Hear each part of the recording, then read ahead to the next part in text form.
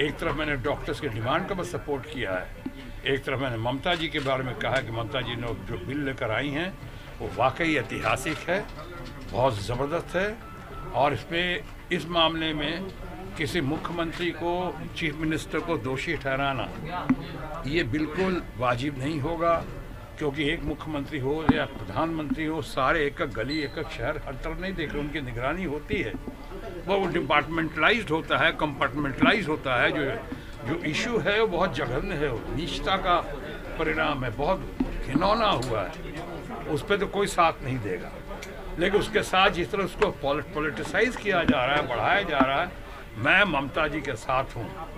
ममता जी का एक मज़बूत सिपाही या सिपाह सालार होने के नाते मैंने बहुत अच्छे तरह से उसको पेश किया है। और आगे भी उसकी बात करूँगा लेकिन आज के दिन नहीं आज आप चाहेंगे कि भाजपा शासित अन्य प्रदेशों चाहे यूपी हो या फिर अभी उज्जैन में जो एक घटना घटी बहुत सारी चाहेंगे कि भाजपा शासित प्रदेशों में भी इस तरह का बिल लाया जाए और उससे सरकार पारित करे।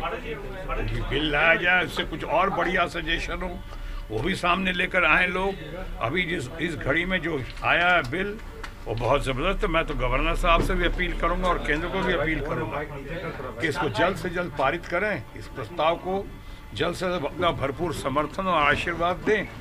लेकिन अगर आपके पास हर जगह होना चाहिए, और एक चीज़ और कह दूँ, आपने कहा asking for chief minister resignation, वो सही नहीं है। अगर यही सही होगा, यही पैमाना है, यही बैरोमीटर है, तब तो फिर प्रधानमंत्री वज़ीर आज़म को तो कई जगह से आपको छोड़ना पड़ेगा, इस्तीफा देना पड़ेगा। कई कई प्रदेशों में हुआ मणिपुर का मुद्दा हुआ है, आपको कानपुर का मुद्दा हुआ है, आपको हाथरस का मुद्दा हुआ है, उन्नाव का मुद्दा हुआ है, कठुआ का मुद्दा हुआ है।